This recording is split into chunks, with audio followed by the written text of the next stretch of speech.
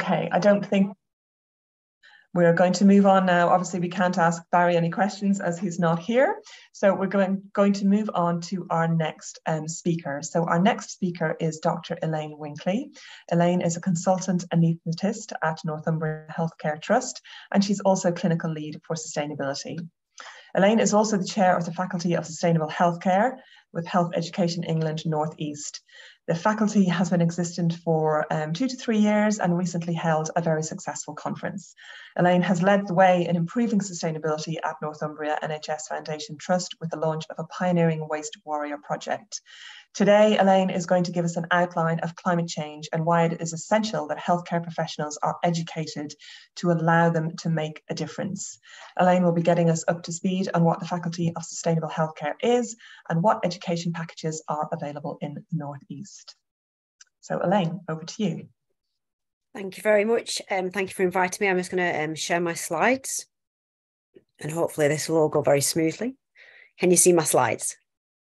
Excellent, fantastic. Um, yeah, so thank you again for the invite. Um, a bit of a fish out of water speaking to you all today as an anaesthetist, but very fortunate to work closely alongside a lot of pharmacists and also with Minna in the work that we've been doing in the Northeast. Um, so I'm going to talk largely about the work with the faculty today, but touch on some other areas. So bit about myself. Um, I trained in Newcastle upon Tyne, um, but I'm originally from Accrington in the northwest. Um, I've always had a love for the outdoor spaces um, and a particular love of our beaches and our coastline here in the northeast. Um, again, like the previous speaker, I have children, and it was very much from them the impetus came to try and do something within my professional career. Um, they were very aware from a very young age, at the age of two or three, the importance of um, climate change, the importance of recycling. And to me, that made me feel even more concerned that within healthcare, we didn't seem to be doing very much on it. So that gave me the momentum to try and make a difference in my own clinical practice and then also in setting up the faculty. If you wish to find out any more about the faculty, I'll pop the website link on there and I'm happy for my slides to be shared. So within anaesthesia and within the operating theatre, we generate a lot of waste and we have a lot of um, energy draining processes such as the lights, the air conditioning within theatre.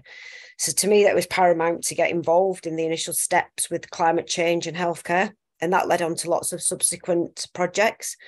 I was also aware as a trainee, as a, when I was rotating through different trusts, I didn't receive any education. I didn't know why it was important for us as healthcare professionals to lead the way on this. And that was why I approached Prof. Kumar um, at Health Education England Northeast to try and set something up so the resources were available for all healthcare professionals in the Northeast to try and educate themselves to move this work forward. Um, so just a couple of slides now about um, climate change, which I'm hopeful um, you're aware of. Um, this diagram shows the global temperature every year over the last hundreds of years. And you can see that the planet is getting hotter and hotter. And the five warmest years are the, after 2000. And a lot of this is thought to be due to the burning of fossil fuels in the Industrial Revolution. And so it became key when I first saw this that actually in my lifetime things have got worse and i remember being that child sat at school in a science lesson being told not to worry about climate change it wouldn't affect me in my lifetime. And this is why it's very key that it is happening now. We have to accept it's happening now but we have to then make a change to all of our daily lives starting with a small change but then looking at how we address things at work and in our professional lives how we can make a big impact and I think we've all been aware in the last 12 months with the hottest days on record, the flooding and the storms, that these weather patterns are happening now and there's having a direct influence of causing a lot of damage and health and healthcare problems with respect to that. Um, and things are only going to get worse. So we do have to act now.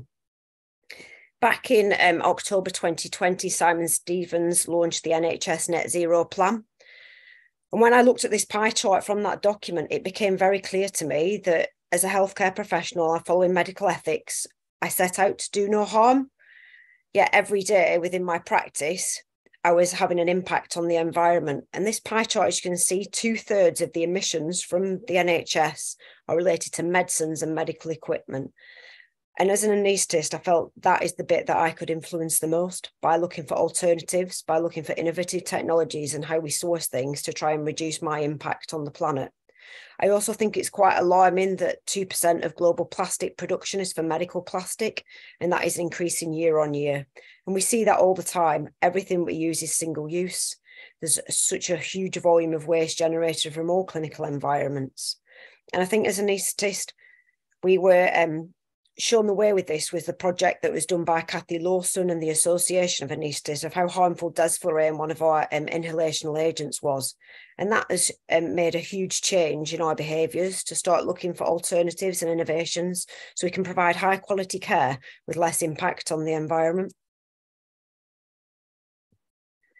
So the Faculty of Sustainable Healthcare, um, this came about as an idea that I had in my head that we needed to provide um, training to clinicians. It isn't readily in all undergraduate or postgraduate curriculum.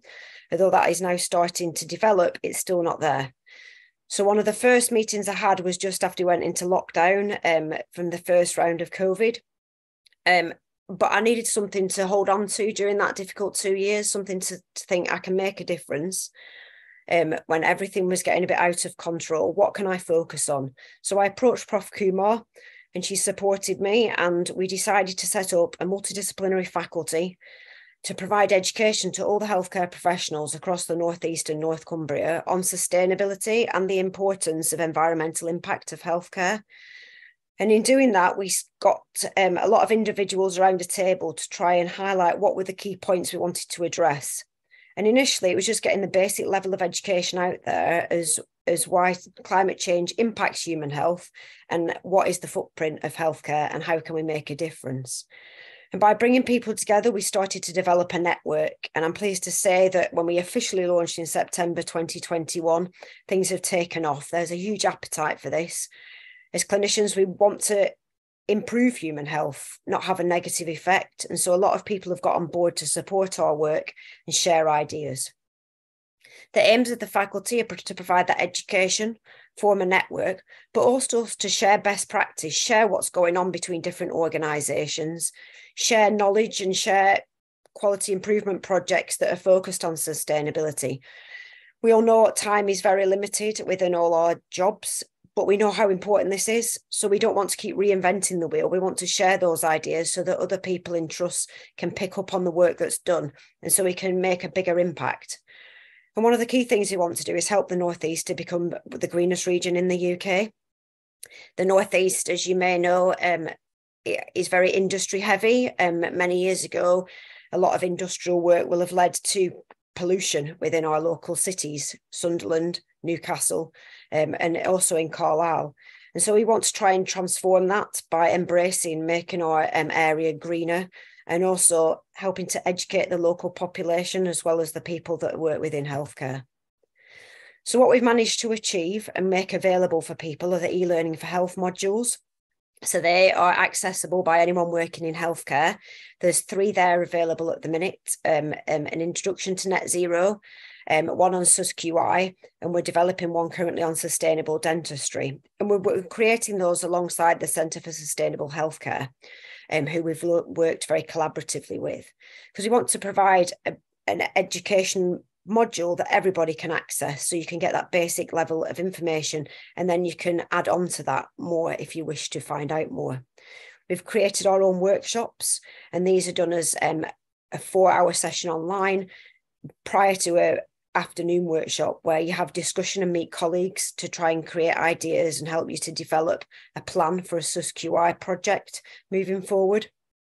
We also had our annual conference um, that has just gone by in September, which amazingly sold out in 48 hours. And that proved to us that there is an appetite for this. And it was a fantastic event that brought people from all different specialities together and also people from the local area, the university, and the council to understand how we can work together to make healthcare greener. We've also um, got a quarterly newsletter called Sustainability Matters, and that's to share the work that's going on in the region and also to help provide a network so that people coming through training, undergraduate, postgraduate, and an established post can see what work is happening and engage with people to share ideas. This is the link for the e learning for health modules. every year we look for new opportunity. So um, the sustainability in dentistry module, which is launching soon, is the latest one we've developed. But we hope to add to this so that there's a whole collection of modules that everybody can access. Um, and they are easy to read. We would love to make them mandatory within um, induction processes in trusts. Um, and I know that in County Durham and Darlington, they're building a net zero module is now mandatory to provide that baseline knowledge for all staff members because we all have to work on this. We all have to make small differences to be able to make a big impact.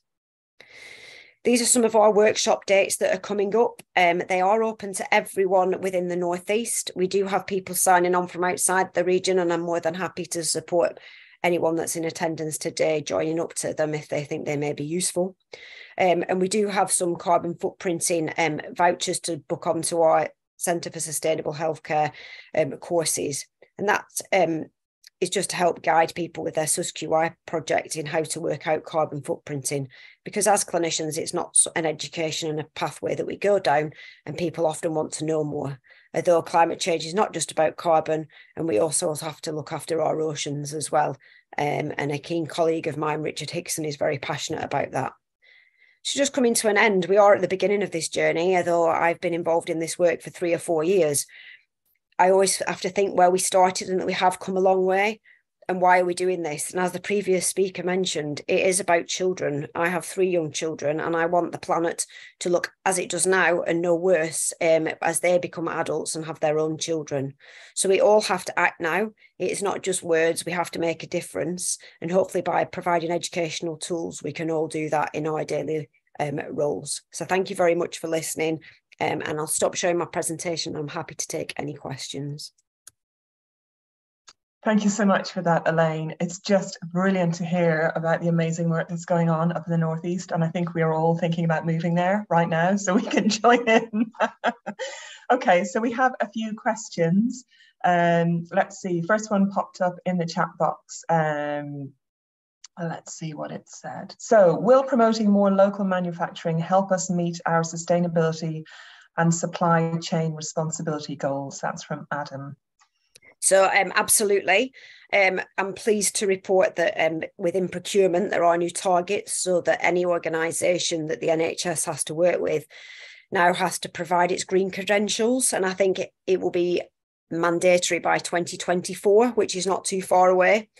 Um, I know in our organisation, in the last six months, we have recruited two um, specialists into our procurement department that are specifically looking at alternative items and their greener credentials and the weighting towards the carbon footprint of items um, has been increased. Um, Northumbria is very lucky as a trust that in the pandemic we're very innovative and we set up our own manufacturing hub and that has actually helped us with example um, we've manufactured our own theatre caps so now that they are reusable and washable um, but rather than having hats shipped in from China and across the seas, they're now coming from a factory that is approximately a mile from the hospitals that we work in. So, absolutely, the more local sourcing we can do, which does come sometimes at a financial cost, um, it'll be more beneficial for the environment, but also supporting the local community and addressing the triple bottom line. Wow, okay, that's that's amazing. So a, a, related question from Liwa saying climate change is contributing to ill health. How is the pharmacy manufacturing sector contributing towards net zero? Do you have any sort of take on that, Elaine? Um, so uh, not working with pharmaceutical companies directly, but being aware of things that are going on. I know that some of the companies are addressing this quicker than others. Um, and I think that they all have to provide green credentials the carbon footprint, as you've seen for manufacturing items, is massive. Um, and I think each individual company needs to be held to account. And pharma obviously is a big money generator, but I think as the NHS, we have to apply pressure and say we are not going to purchase from companies that are not addressing this and making the big steps forward. Yeah, there's, there's, there's so many issues there, isn't there? There's there's the, the pharmaceutical pollution, but then there's also the waste of the packaging, the you know, why aren't we able to recycle inhalers across the country? There's there's a, a whole range of issues there that we really need to kind of get some action going on, don't we? Okay, a few more questions. So, um, you know, I'm I'm really impressed at how you've managed to sort of galvanize people and get people working together and sharing practice, and, and in that sort of community, you get sort of motivation, don't you? So Nick is asking any suggestions for making contacts in our area and getting started in developing a sustainability network. So what would be your top tips, Elaine, for somebody who's trying to do something like like you've done? So top tips is talking to everybody wherever you go about it. So I think one of the I was very fortunate that Kathy Lawson, who did the big project with the Association of Anaesthetists, was also a friend and a trainee that I worked alongside. And when she took on that first um, initiative fellowship, I stayed in touch with her because it was something I'd wanted to do, but I'd come to the end of my training. So me and Kathy constantly spoke to each other. And it, it became clear that a lot of the things we want to do do make sense, but how do you make that change? So when I became a consultant at Northumbria, I spoke to everybody, nurses, surgeons, just in theatre having a conversation of why do we not recycle? Why are we not doing this? Do you think there's an alternative? And there are enthusiasts out there um, on the shop floor. And, and now it is great for me that when I do go and do my acute pain round, I meet the pharmacy tech, Vicky, who's got a passion about this. I meet the nurses that have got a passion and they'll share ideas. It's being brave enough to stick your head up and say, let's do something with all these enthusiasts. Let's create something, be that a network or the faculty. Um, and I didn't ever think that when I sent that first email to say we need to set something up to provide education, it would get the positive reaction that it did.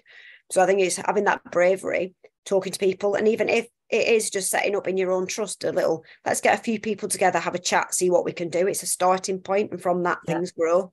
Yeah, yeah. So really talking to people because you might have colleagues who are really passionate about this, but you don't know because nobody's having that conversation. So yeah, it's finding your tribe, isn't it? Finding yeah. the people who are on the same um, wavelength. Okay, brilliant. Um, so some people wanting to kind of make contact with you directly, Elaine, because they're wanting to sort of set up um, sort of similar processes. So Roisin in Northern Ireland is, is really keen to get in touch with you. Um, so we'll kind of um, I'll put my um, work email address into the chat and then I'm more than happy. It may take me right. a bit of time. I was going to say, I hope you don't get completely swamped with emails. I think you might. Uh, Martha's asking if presentation slides will be made available. We're recording all of this and it'll all be available on the um, Pharmacy Declares website. Um, okay, so I think that is all of the key questions um, asked, uh, answered. Thank you very much. So thank you so much, Elaine. It's really great to hear such sort of um, positive and inspiring work going on and, you know, so great that just from just initially talking to people, um, you've managed to generate all of this. Some people also asking about getting involved in attending some of your um, education sessions. So again, presumably if they email you, you'll be able to um, give them some advice. Absolutely. That. Yeah. Okay, that's lovely. Thank you so much, Elaine. Thank you very much.